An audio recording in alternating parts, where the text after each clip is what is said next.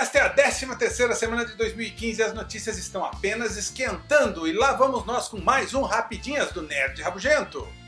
Perguntaram para o Joss Whedon se nós veremos outros personagens da Marvel no filme Os Vingadores A Era de Ultron. Personagens que já apareceram em outros filmes, em séries, algo assim. A resposta foi sim! Façam as suas apostas. Quais heróis aparecerão em Vingadores 2?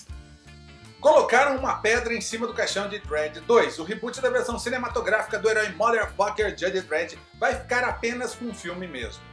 Os críticos gostaram, eu gostei, mesmo sendo uma cópia cuspida e escarrada de The Raid. Os fanboys pediram mais, mas o primeiro filme, mesmo tendo um orçamento barato para os padrões de Hollywood, 50 milhões de dólares, só rendeu 35 nas bilheterias. O produtor disse que se sair um novo filme do Dredd, não vai ser pelas mãos dele. Bem, isso coloca Carl Urban de volta no mercado dos heróis. Quem sabe não aproveita o sujeito em Batman vs Superman? Acorda aí, Snyder!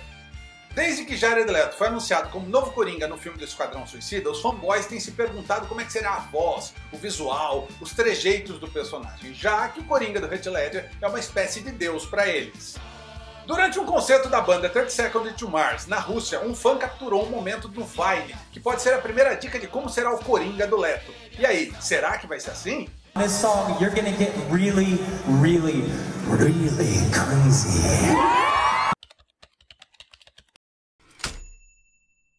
O que vocês acharam da escolha de Jared Leto para o papel do Coringa? Deixe a sua opinião nos comentários. Visite a NSFW Not Safe for Work, camisetas nerds feitas por nerds para nerds. E eu agradeço aos mais de 10 mil inscritos no canal do Nerd Rabugento. Se você ainda não se inscreveu, inscreva-se agora. Siga o Casterzano no Twitter agora. Curta a fanpage do Nerd Rabugento no Facebook agora. E seja meu patrão. E não pense, ah, eu não preciso ajudar, já tem muita gente que é patrão. Para que, que eu vou dar dinheiro para esse cara que só faz vídeos na internet? Pensa assim, o canal do Nerd Rabugento é honesto, respeita o seu público e não tenta te enganar.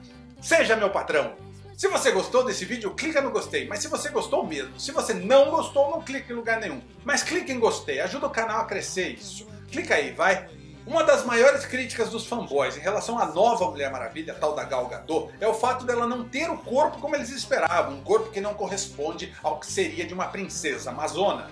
Quando perguntaram a ela em uma entrevista o que ela achava disso, a resposta foi: as verdadeiras amazonas retiravam uns dos seios para não atrapalharem durante o tiro com arco e flechas. Então só aí já não vai ser como as verdadeiras amazonas. Nós tentamos deixar todo mundo feliz, mas não dá. Toma essa, fanboys chatos pra caralho!